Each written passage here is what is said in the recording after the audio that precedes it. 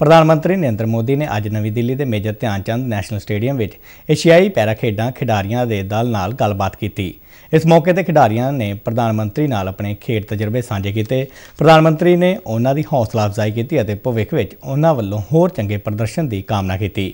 ਪੈਰਾ ਏਸ਼ੀਆਈ ਖੇਡਾਂ ਦੇ ਖਿਡਾਰੀ ਦਲ ਨੂੰ ਸੰਬੋਧਨ ਕਰਦਿਆਂ ਪ੍ਰਧਾਨ ਮੰਤਰੀ ਨੇ ਕਿਹਾ ਕਿ ਜਿਸ ਤਰ੍ਹਾਂ ਉਹਨਾਂ ਨੇ ਇਹਨਾਂ ਖੇਡਾਂ ਵਿੱਚ ਦੇਸ਼ ਦਾ ਮਾਣ ਵਧਾਇਆ ਹੈ, ਇਹ ਵਿਲੱਖਣ ਹੈ। ਇਸ ਲਈ ਉਹ ਖਿਡਾਰੀਆਂ, ਉਹਨਾਂ ਦੇ ਕੋਚ ਅਤੇ ਪਰਿਵਾਰਕ ਮੈਂਬਰਾਂ ਨੂੰ ਵਧਾਈ ਦਿੰਦੇ ਨੇ। ਉਹਨਾਂ ਕਿਹਾ ਕਿ 2014 ਵਿੱਚ ਅਸੀਂ ਓਵਰਆਲ ਪਰਫਾਰਮਰ ਰਹੇ ਜੋ 15ਵੇਂ ਸਥਾਨ ਤੇ ਸੀ ਪਰ ਇਸ ਵਾਰ ਇਹਨਾਂ ਖਿਡਾਰੀਆਂ ਨੇ ਦੇਸ਼ ਨੂੰ ਪਹਿਲੇ 5 ਵਿੱਚ ਲਿਆ ਕੇ ਖੜਾ ਕਰ ਦਿੱਤਾ ਹੈ ਜੋ ਕਿ ਸਧਾਰਨ ਗੱਲ ਨਹੀਂ ਹੈ तो सबसे पहले तो मैं आप सबके बीच एक ही काम के लिए आया हूं और वो है आप सबको बहुत बहुत बधाई देना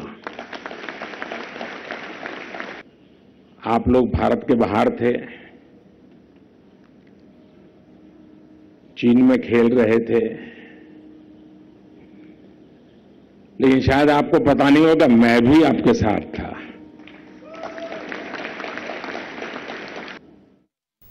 ਇਸ ਮੌਕੇ ਤੇ ਯੁਵਾ ਮਾਮਲੇ ਤੇ ਖੇਡ ਮੰਤਰੀ ਅਨੁਰਾਗ ਸਿੰਘ ਠਾਕੁਰ ਨੇ ਸੰਬੋਧਨ ਕਰਦਿਆਂ ਖਿਡਾਰੀਆਂ ਨੂੰ ਰਿਕਾਰਡ ਪ੍ਰਦਰਸ਼ਨ ਲਈ ਵਧਾਈ ਦਿੱਤੀ ਅਤੇ ਦੇਸ਼ ਵਿੱਚ ਖੇਡਾਂ ਲਈ ਸਹੂਲਤਾਂ 'ਚ ਵਾਧਾ ਕਰਨ ਲਈ ਪ੍ਰਧਾਨ ਮੰਤਰੀ ਨਰਿੰਦਰ ਮੋਦੀ ਦਾ ਧੰਨਵਾਦ ਕੀਤਾ जिन्होंने देश में खेलों को एक नया आयाम दिया, एक नया सोच कि खेलोगे तो खिलोगे। इसी भावना से खेलों को आगे बढ़ाया ऐसे देश के प्रधानमंत्री नरेंद्र मोदी जी का मैं आप सबकी ओर से बहुत बहुत स्वागत, अभिनंदन करता हूँ।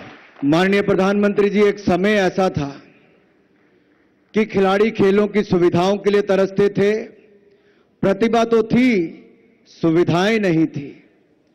आपने प्रतिभाओं को सुविधाएँ देकर आज इतने मेडल जीतने के लायक बनाया है कि इन्होंने अपनी प्रतिभा चीन में दिखाई और वहाँ पर कई मंच, कई पोडियम तो ऐसे थे जहाँ केवल भारत ही दिखता था।